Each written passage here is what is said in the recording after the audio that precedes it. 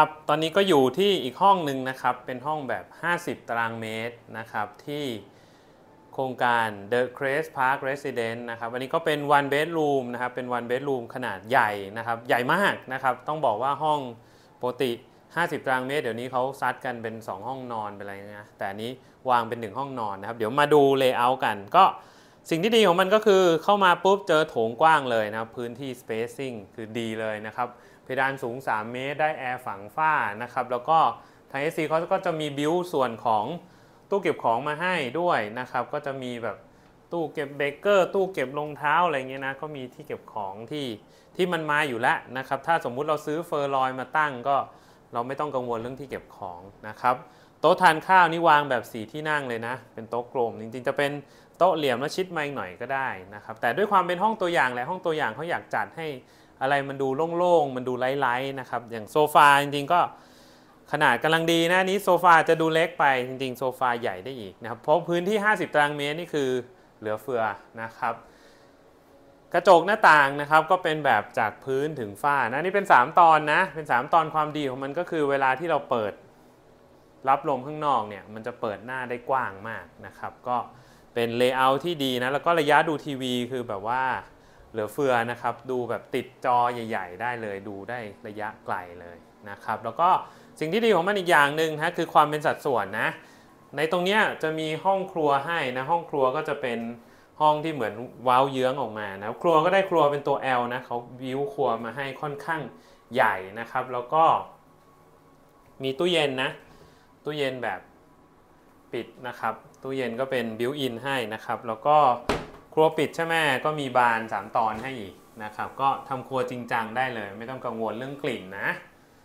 แล้วก็ห้องห้องนี้มันอาจจะดูแคบหน่อยแต่ว่าเขาก็ติดหน้าบานเป็นกระจกให้มันก็ให้ความรู้สึกกว้างขึ้น เดี๋ยวพามาดูห้องนอน ห้องนอนก็เจ๋งนะครับจริง ๆ พื้นที่ส่วนของห้องนอนเขาใหญ่ใหญ่มากด้วยแหละ ห้องนอนนะครับ อันนี้วางเตียงแบบว่า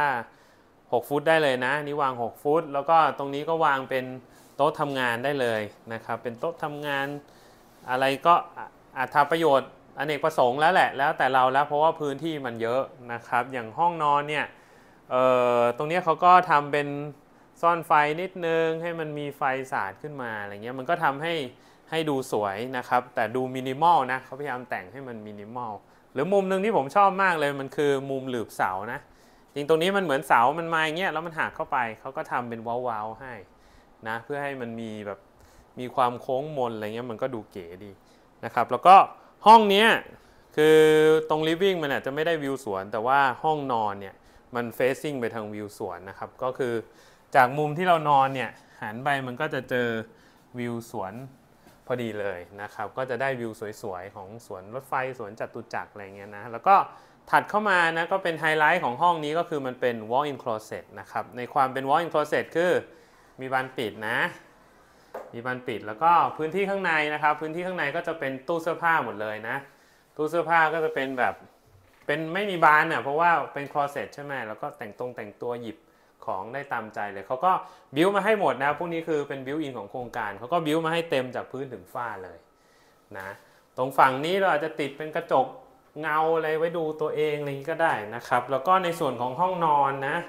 ห้องเอ้ยห้องน้ำห้องน้ำก็ขนาดกำลังดีนะครับ แล้วก็แยกเป็นสัดส่วน คือกลิ่นมันจะได้ไม่หลุดไปที่ไหน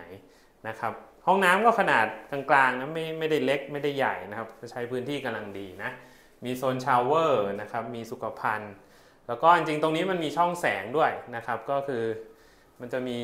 ช่องแสงด้วยนะครับ ก็คือห้องน้ำก็ ventilation ค่อนข้างดีเลยนะเอาว่า ห้องนี้ก็เป็นอีกห้องหนึ่งที่ผมว่า เราจะหา one bedroom 50 ตารางเมตรเนี่ยในย่านแถวๆเนี้ยผมว่ามันต้องไปดูไปแบบพวกคอนโดเก่าอะไรเงี้ยเท่านั้นอะแต่ว่าถ้าเป็นเราอยากได้คอนโดใหม่ อยู่คนเดียว อยากได้พื้นที่เยอะๆ ที่นี่ก็ผมว่าค่อนข้างตอบโจทย์นะ ห้องห้องนี้ตอบโจทย์เลย อยู่แบบสบายเลยนะครับ ไม่ต้องแบบไปซื้อ three two bedroom ถ้าอยากอยู่แค่ one bedroom ใหญ่ๆ ก็ห้องนี้เลย โอเคครับ